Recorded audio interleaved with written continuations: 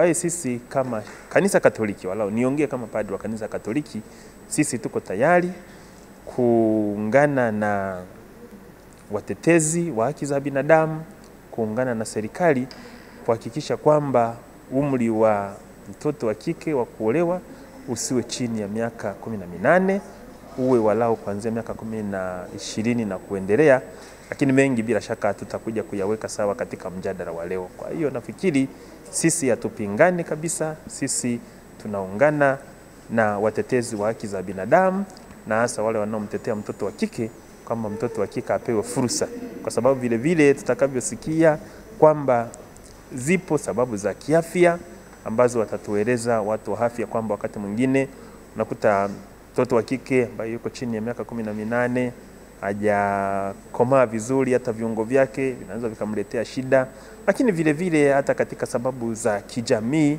kwamba mtu anapoolewa mapema unamnyima fursa ya kusoma. Hey, labda huyo mtu angepata nafasi kubwa zaidi katika jamii, lakini unaposema kwamba labda aolewa akiwa mdogo, moja kwa moja mwingine tayari amekuwa mama wa nyumbani, hawezi kuendelea na masomo, na taifa kwa namna moja au nyingine katika fursa za kielimu linaweza likawa limempoteza. Kwa hiyo ndio maana yetu hiyo.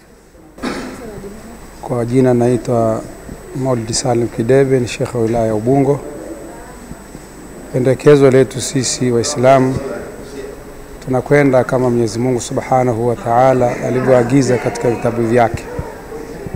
Umri maalumu haupo katika dini, isipokuwa hilo ni kama tamko la baraza la ulama walivyotamka kuhusu eneo hilo, aachiwe mzazi pamoja na yule mtoto mwenyewe, waangalie lipi ambalo lina maslahi kwa kijana huyo.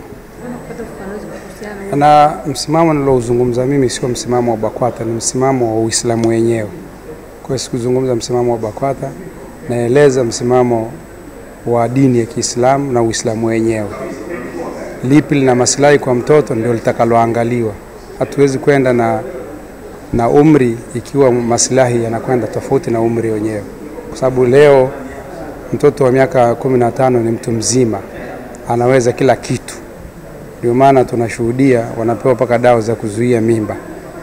Kwa hiyo hilo ndio maana mimi sijazungumzia msimamo wa BAKWATA, nazungumzia msimamo wa dini, bali kwenye dini hiyo ndio baraza la ulama wametohoa wakaweka, wakaweka utaratibu huo. Asante. Kwa jina ninaitwa mchungaji Canon Moses Matonya, katibu mkuu wa Jumuiya ya Kikristo Tanzania. Uh, kwa mtazamo wa kanisa uh, na hata kwenye Biblia ni kwamba mtu anaolewa au anaoa akiwa ameshakuwa mtu mzima, ana uwezo wa kujitegemea na ana uwezo wa kupata watoto. Sasa tunaposema swala umri mzima, umri wa mtu mzima haija specify kwamba ni miaka 15, 16, 17, lakini tunaongozwa na, na sheria ya Jamhuri ya Muungano wa Tanzania sasa sheria ya ndoa ambayo ilikuwa inatuelekeza tunapofungisha watu uh, ndoa kwamba awe amefika miaka kumi na nane yaani mtoto wa kike awe miaka kumi na nane wa kiume vile vile awe kumi na nane aende mbele. Sasa na sheria ilikuwa inasema kwamba ikiwa yuko chini ya miaka kumi na nane basi apate ridhaa ya wazazi au walezi wake aweze kuolewa. Na sisi tumekuwa tukitumia hiyo hiyo kanisani. Uh, tumekuwa tukiwahoji wa, wa, wa, watoto kwanza, alafu wazazi, kwa nini hawa mnataka wao waoane wakati mmoja na miaka chini ya kumi na nane? Zikiwepo sababu zinazoridhisha uh, hasa akiwa kumi na sita labda kumi na saba basi kanisa lilikuwa liki likiridhia na hata kuendelea na hiyo hatua, lakini mambo yote yakiwa yameandikwa vizuri. Hata hivyo, imekuwa ni ndoa za aina hiyo ni chache sana uh, kuweza kuruhusiwa makanisani.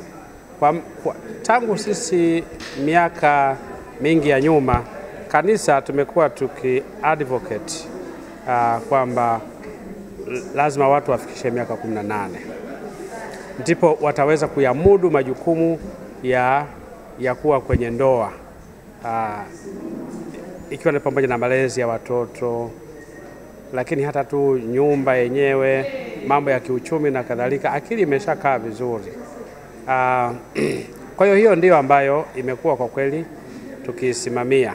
Moja ya wadau ambao tumekuwa tunalifanyia kazi hili swala kwa muda mrefu e, nafikiri ninachokiona ni kwamba mkwamo ambao tunauona linapokuja kwenye swala la serikali kuleta muswada wa mabadiliko ya sheria ya ndoa, hasa vifungu hivi vya kumi na tatu na kumi na saba vinavyoruhusu ndoa za utotoni e, kwa muda mrefu umekuwa unatokana na kile ambacho kinaonekana ni uh, mtazamo wa dini na mila zetu kuhusiana na ndoa za utotoni. Lakini niseme kutokana na kikao cha leo e, nina, nime, nilikuwa nina, nina huo uhakika, lakini sasa hivi na uhakika zaidi kwamba labda tunatumia mila na dini kama kisingizio tu cha kuchelewesha mchakato, kwa sababu viongozi wa dini e, kwa nilivyowasikia ni watu ambao tayari wana, wana, wana utayari wanaonekana ni watu ambao wana utayari, lakini vile vile wana nia ya kuona kwamba mkwamo huu unatoka hapa ulipo. Kwa hiyo niseme tu, mimi nafikiri ni rai kwa serikali, kwa sababu ukiachana hata na mjadala tunaofanya, hili swala ni la kisheria, ni la kikatiba, ni swala la utawala wa sheria.